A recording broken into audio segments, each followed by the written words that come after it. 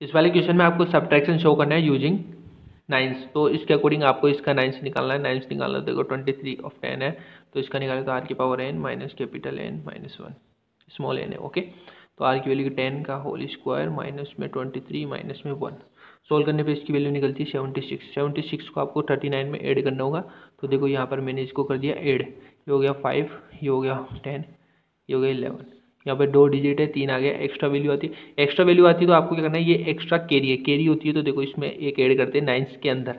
Similarly once की तरह होता है ये भी, एक ऐड कर देते हैं। तो देखो यहाँ पर वैल्यू क्या आती है सिक्सटीन तो sixteen will be your answer इस केस में तो चलो कैरी आ गई what if we don't get carry so ऐसा ही एग्ज़ाम्पल लेके देखते हैं, यानी नेगेटिव वैल्यू वाला। तो ऑब्वियसली नेगेटिव लेना तो देखो फोर्टी नाइन माइनस में एटी फोर आपका using nines so in this case you just have to apply nines complement on this one.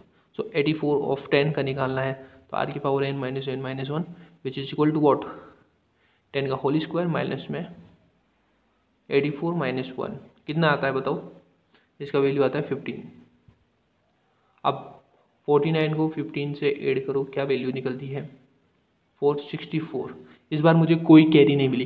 Carry नहीं मिली, इसका अर्थ है ये वैल्यू नेगेटिव में है। तो माइनस सिक्सटी फोर क्या है? नेगेटिव में है तो यानी कि इसका दोबारा से हमें क्या करना होगा? नाइन्स निकालना होगा। तो इसका निकालते तो कैसे निकालते हैं? सिक्सटी फोर ऑफ़ टेन का निकालना है तो। देखो टेन का होल स्क्वायर माइनस में सिक्सटी फोर माइनस में वन यानी कि hundred minus sixty five which is equal to thirty five और वैल्यू क्या थी? नेगेटिव में थी तो answer will be what minus thirty five हमेशा याद रखना कैरी नहीं आती है। कैरी नहीं आती तो वो आंसर नेगेटिव में है। और क्रॉस चेक कर लो, आप इसको इससे सब्ट्रैक्ट करके देखोगे तो आंसर ओबियसली थर्ट माइनस थर्टी फाइव ही आने वाला है।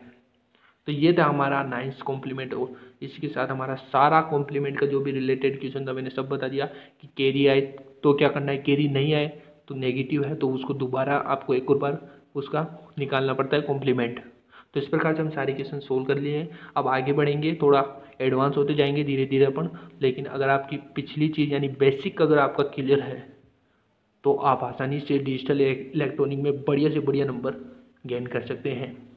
तो देखते रहिए और हमें सब्सक्राइब करते रहिए शेयर करते रहिए। Thank you so much for watching this video